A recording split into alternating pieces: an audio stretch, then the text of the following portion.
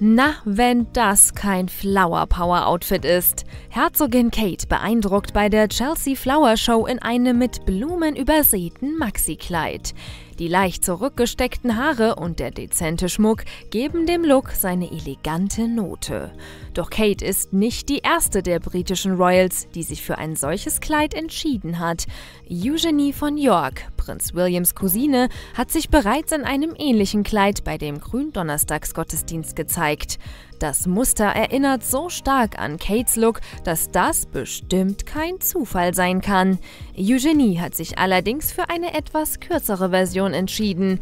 Ihr Kleid reicht nur knapp bis zu den Knien, wobei Kates Version bis zu den Knöcheln geht.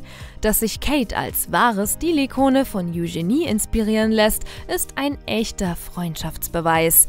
Die Dreifachmama hat aber auch bei einer anderen royalen Dame Inspiration gefunden.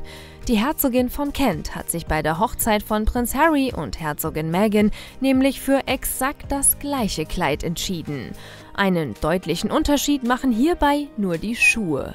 Kombiniert die Frau von Prince Edward das Dress mit lässigen Turnschuhen, hat sich Herzogin Kate für schicke Wedges entschieden. Das Kleid stammt von Designer Erdem, von dem Prinz Williams schöne Frau bekanntlich ein großer Fan ist.